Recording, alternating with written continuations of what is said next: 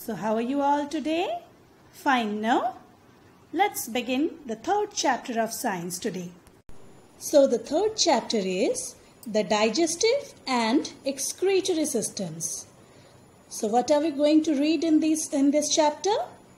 The key concepts are the organs related to the digestive system and excretory system, their functions, what is the importance of chewing food, what is the importance of regular bowel movement, and the healthy habits related to digestion and excretion.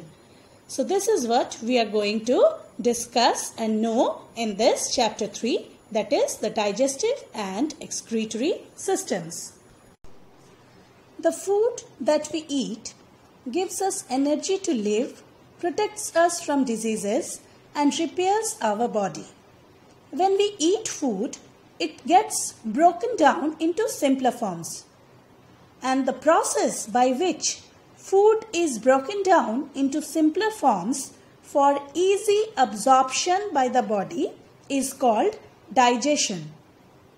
The organs that help in digesting the food in our body are called digestive organs. And these organs form the digestive system. So now what are the organs related to this digestive system? They are the mouth, esophagus. Esophagus is what? The food pipe through which the food which we chew from the mouth gets transferred to the stomach. That, uh, that pipe is called esophagus. So, the organs related to the digestive system are the mouth, esophagus, stomach, small intestine, large intestine, rectum, anus. So, how many organs did I say? There are all 7, 8 7 to 8 main organs related to digestive system. The process of digestion starts in the mouth. The food is chewed and crushed in the mouth with the help of what? With the help of teeth. In the mouth there is a fluid which is called saliva. It gets mixed with the food in the mouth and then it becomes easier for us to swallow the food.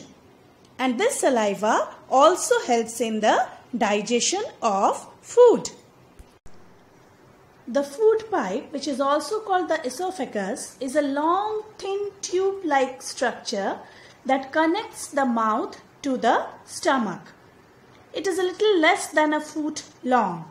From the mouth, the food is transferred to the stomach through the esophagus. The next organ related to the digestive system is the stomach. The stomach is a bag-like organ made up of muscles. The food is churned into soft pulp in the stomach. Next is the small intestine and the large intestine. The small intestine is a thin tube that is approximately 20 feet long. From the stomach, food is passed to the small intestine.